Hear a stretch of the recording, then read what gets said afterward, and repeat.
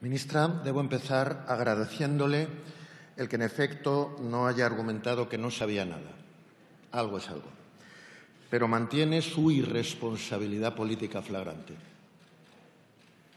Y ya respecto a las falsedades que he podido decir, me ha llamado mentiroso, hablaremos.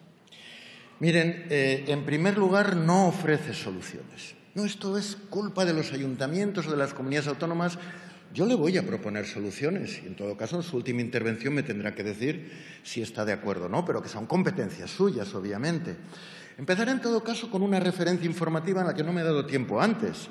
Eh, ha citado usted, hombre, yo tengo competencias en las grandes inversiones de obras hidráulicas. Le pongo solo un ejemplo, pero tengo muchísimos. Llevo media vida trabajando estos temas de economía del agua.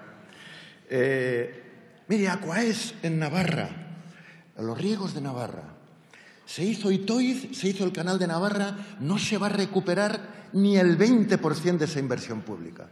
Y se lo digo así, lo conozco bien, lo he estudiado a fondo. Ni el 20%. Amigo, pero al final Aquaes privatiza el último sector, la gestión del regadío.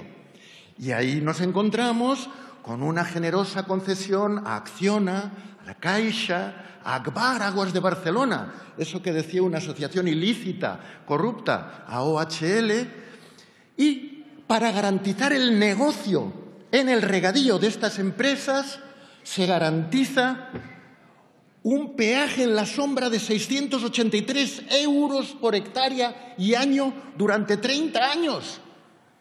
Cuatro veces más casi que lo que pagan los regantes. ¿Eso es gestión pública de interés general?